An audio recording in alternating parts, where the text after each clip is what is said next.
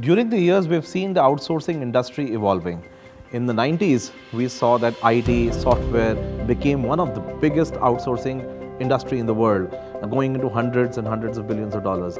After IT boom and IT outsourcing came the BPO, call center, the international and domestic call center industry, where organizations thought that the call center piece is not uh, something which is of their core functions and they wanted to outsource. And then again, it went into hundreds and hundreds of billions of dollars. And industry uh, still is flourishing and both of these industry uh, now uh, form, form the very pillars of the outsourcing industry globally. So there is one industry which hasn't changed over the last 50 years and that industry is commercial real estate industry. Now is the time when commercial real estate, what it used to be before has changed and now is the time for commercial real estate 2.0. It's a new version of commercial real estate where offices are being converted into hospitality. Offices uh, which were considered only just real estate and fit outs are now considered to be the very engine of productivity, very engine of employees' motivation. So, why is it really becoming important to uh, focus on these areas? One, that real estate people are realizing, organizations are realizing that real estate is not one of their core functions.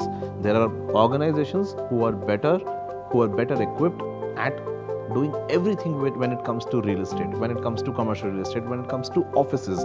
Because offices today are not just offices. Offices is a function of real estate, fit outs, services, value added services, the life you put into that space so that the entire vibration of that space becomes positive. It gives a happy environment to people working in that space. That's what the commercial real estate 2.0 is about. So look at the underlying problems of organizations today. One, that when they go out in the market to look for real estate, they have to contact brokers to find the right place. Second, they have to forecast the right size. What's the right size? They can be conservative or optimistic about what size of office space they want to take, but they can still go wrong. They may not grow or they may outgrow. Those problems are there. Then it is a problem to invest in fit outs. Now, why should an organization invest in fit outs when they can invest that same money in their own business and create far better returns on the same money? After all, it is the ROI that is function. Uh, fourth, manpower is become is becoming distributed. So if you look at manpower today is not at just one place; it is distributed across geographies.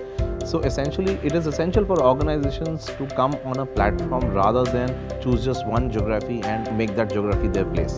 For an organization which runs in a primitive way, would typically come and establish their office at one place and then struggle with manpower.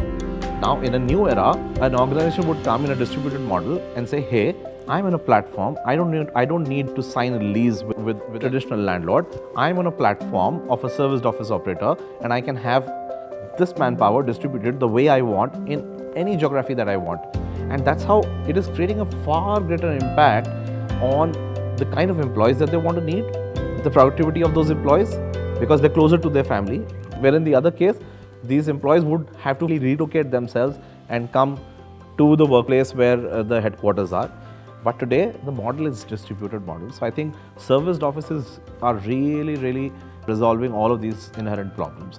Now, look at the other problems that the global organizations or any organizations are going through is uh, the management of uh, the space, dealing with multiple vendors, dealing with how that space is really inculcating the values and culture that um, those employees need. So those are some other problems. The overall uh, angle of services and with operators understanding the micro market dynamics, culture economics of that particular market has become really important factors why an organization is now choosing commercial real estate 2.0 to be a very important aspect within their portfolio. They've started to understand that real estate is not their core function. There are guys who can manage it much, much better than what they could do.